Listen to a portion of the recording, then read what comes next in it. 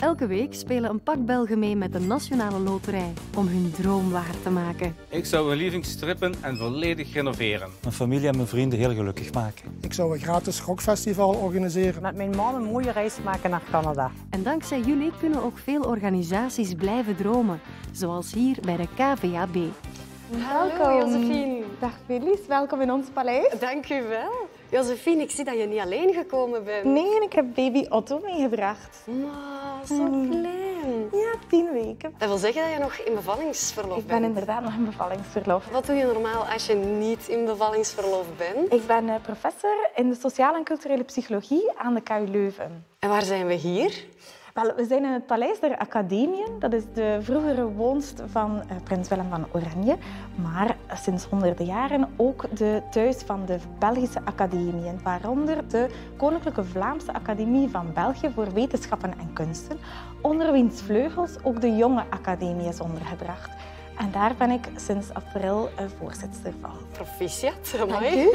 Wat is dan eigenlijk het verschil tussen een gewone academie en de jonge academie waar jij deel van uitmaakt? We zijn eigenlijk een beetje een soort eh, ja, jongerenorganisatie daaronder. En wij worden gekozen op basis van onze inzet die we willen doen om iets te betekenen voor academia en om eigenlijk de kunst en de wetenschappen in Vlaanderen te promoten.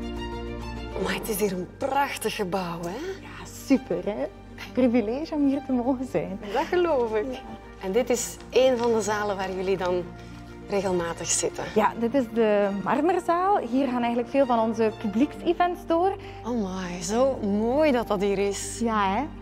Je bent nu lid van de academie. Waarom wou jij er zo graag bij komen? Ik had in mijn universiteit een aantal dingen willen aankaarten over de combinatie tussen werk en gezinsleven. En dat was heel moeilijk als individuele onderzoeker. En toen ontdekte ik dus de Jonge Academie als eigenlijk een platform waar dat je samen met anderen kunt werken aan een betere, meer inclusieve universiteit voor iedereen. Heb je het gevoel dat er al iets gebeurd is op dat vlak?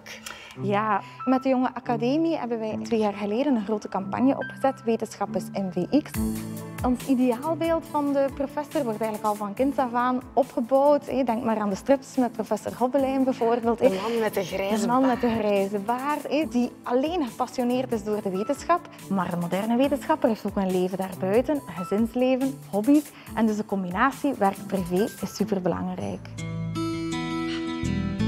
Waarom is de jonge academie zo belangrijk? We zijn een platform waarmee dat we verandering kunnen teweegbrengen. Mede dankzij de spelers van de Nationale Loterij, dat wij eigenlijk onze werking kunnen verder zetten en dat wij dus kunnen muren doorbreken binnen onze wetenschappelijke instellingen, maar ook de kennis tot daarbuiten brengen, tot bij de burger, tot bij politici. Dus in die zin is het eh, ja, een heel mooi engagement om op te nemen.